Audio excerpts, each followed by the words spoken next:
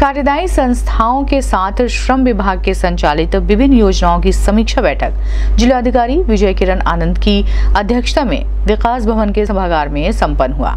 बैठक में जिलाधिकारी ने संबंधित अधिकारियों को निर्देशित किया कि श्रम विभाग द्वारा संचालित योजनाओं के अंतर्गत चलाए जा रही योजनाओं का लाभ श्रमिकों को उपलब्ध कराया जाए, जिससे श्रमिक लाभान्वित हो सके। जिलाधिकारी ने ई श्रम कार्ड बनाने में तेज़ी लाने के निर्देश दिए।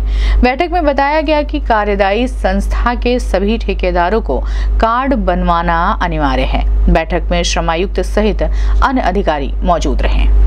अठारह में किताबों को बुला देते हैं बीओसी डब्ल्यू का भी रजिस्ट्रेशन का पूरा रजिस्ट्रेशन करवा देते हाँ। ठीक है करा दी लेकिन आप अपने कॉन्ट्रैक्टर के साथ ज़रूर बैठक करेंगे आप लोग स्वयं और उनको सख्त निर्देश देंगे कि कोई भी अगर श्रमिक वांछित रह गया आपका ये असली लेबर है जो नगर निगम से कौन आया?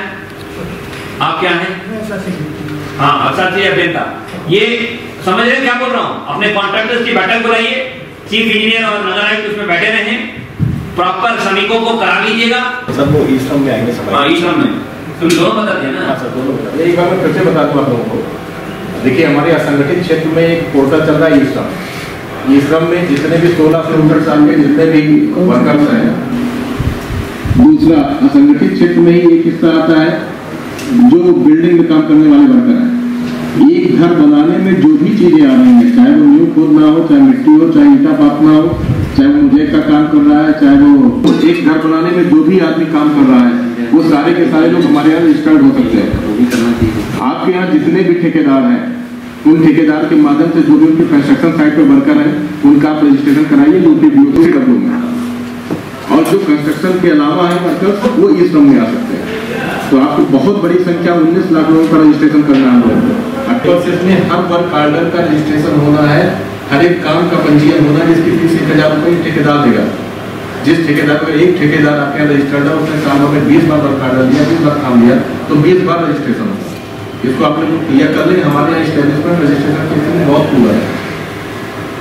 वो होता क्या है कि एक ठेकेदार एक बार में रजिस्ट्रेशन करा लिया, वही बार बार आपको दिखलाता है कि देखिए हमारा रजिस्ट्रेशन है, और उसी पर आप लोग उसको पैसा दिए जाते हैं। एक बार तो ये तीन चीज़ आप लोग पूरे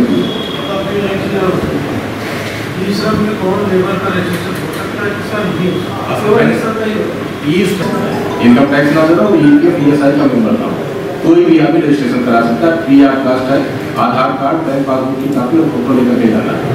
उसको भी पैसे भी नहीं देना अगर ईएसआई में है तो नहीं कर ई एस आई और पी एम में नहीं। आपके कॉन्ट्रैक्टर के थ्रू उनको E S I P M करता है तो वो नहीं आएँगे इस अर्बन के के कौन आया थे सभी